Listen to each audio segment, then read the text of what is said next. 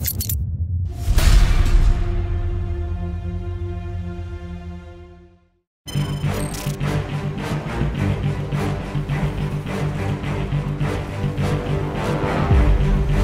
his name I will fight!